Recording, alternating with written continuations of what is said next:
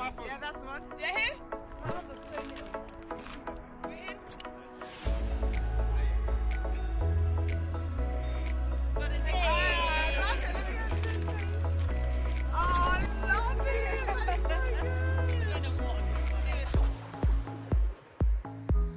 positive thing that I learned today is that the police are willing to listen and understand and educate themselves as well as us to combat an issue Okay, so one positive I got out from today was that police just sometimes want to have a chat, that they're not always there to attack you. One positive thing from today is that listening to everyone's stories, police at the end of the day is just a uniform and hopefully the barriers will change and that pe- um, the public will look at us in a different light. meditation.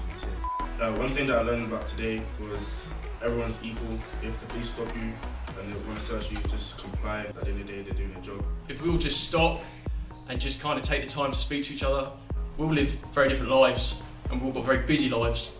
And if we just listen to each other and kind of hear our own concerns or their concerns, most of the time we've got middle ground and we've got we've got a lot in common. From today, I've really enjoyed talking.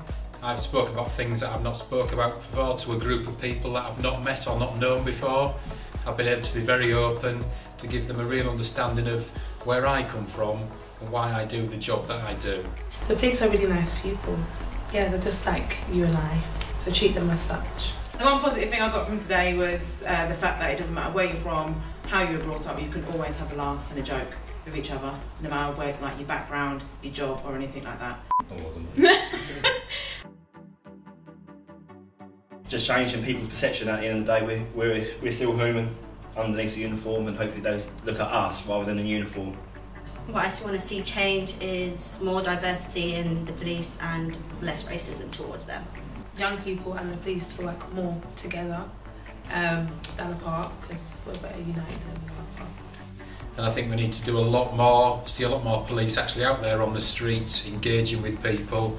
Engagement between the community and the police, I feel like there could be some more opportunities for that to happen. The one thing I'd like to see in the future is more police on the street to engage um, with the community to build that rapport and that trust back um, to what we have. Everything starts at the bottom. It's all kind of the roots upwards. Um, it starts at home. It starts in schools. And if we get the picture, we get the story right now, then who's to say in years to come? And it, it might take time, but we, we can fix it and we can make the changes that we're aspiring to get today.